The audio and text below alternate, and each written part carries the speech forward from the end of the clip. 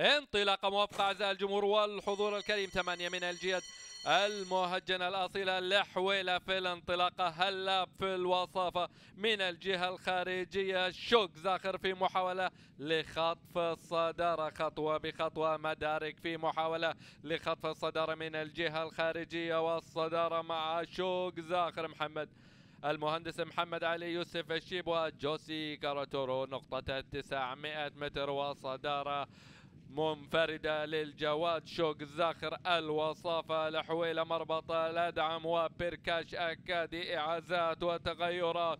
إكبليات الثمامة ريسنج وشيت بان ميزور المنعطف الأول اتجاها إلى المنعطف الأخير والصدارة لا تزال مع الجواد جوك زاخر المهندس محمد علي يوسف الشيب تعطى الإيعازات والجواد هلاب لا يزال في وضع اليد 400 متر على خط النهاية.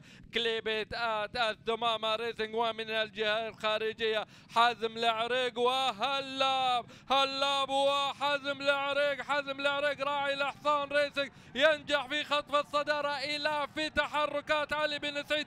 جفال النعيمي ولكن هلاب والجواد. حزم العريق حزم العريق بفارق بسيط. السدى راعي الحصان ريسنج وماركو كازمنتو And the official results for the first race of the day. The winner, horse number one, Hazem Al owned by Rail Hassan Racing, trained by Weda Salam Al Hajri, ridden by Marco Casamento. Second horse number three, Halab, owned by Sheikh Faisal bin Hamad bin Jasm Al Thani, trained by Mohammed Khalid Lahmed, ridden by Alberto Sana. Third horse number five, Elaf, Al Mamsur Ali bin Said Al Naimi, trained Mahmoud Kubaisi, ridden by Prenil Kharat.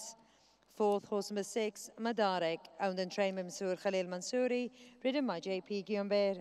And in fifth place, horse number two, Lahuela, owned by Al Adam Stud, trained by Hadi Ramzani, ridden by Parkesh